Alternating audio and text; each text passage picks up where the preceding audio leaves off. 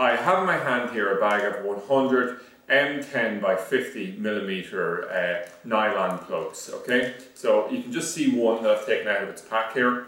And basically, this is for is we just drill a, a 10 millimeter hole with a drill bit such as this, you mount it into the wall and you use it then normally in conjunction with something like this coach screw. We've added the plugs on as a separate product simply because we often have people who have the, an excess of coach screws and just need to buy the plugs separately. So that's it anyway, an overview of a bag of 100 M10 by 50 nylon plugs.